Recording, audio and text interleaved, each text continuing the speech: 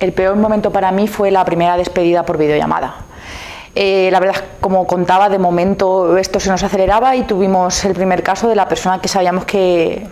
le quedaban horas para, fallecer y su familia se tenía que despedir de él porque no podían entrar al, centro.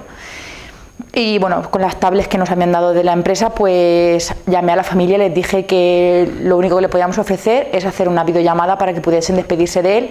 pudieran decirle que le querían y pudieran decirle mm, pues lo que sentían. Y la verdad, pues me emociono porque mm, es verdad que luego lo he hecho más veces y ha sido igual de duro, pero la primera vez mm, es la que no se me va a olvidar nunca porque mm, el sentir que yo era ahí, la conexión entre un padre y una hija y una esposa, en el que le decían que lo que adiós papá o te quiero fue, fue muy dura. Además, me acuerdo que salí de esa habitación y estuve una hora que no era persona porque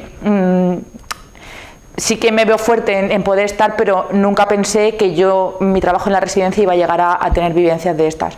Desgraciadamente lo he hecho en más ocasiones, luego le he dado la vuelta, lo he visto de la forma positiva de que gracias a mi trabajo podía poner en conexión a, las familias con, con los residentes y entonces lo he ido llevando mejor, pero es verdad que ha sido de los momentos más duros para mí.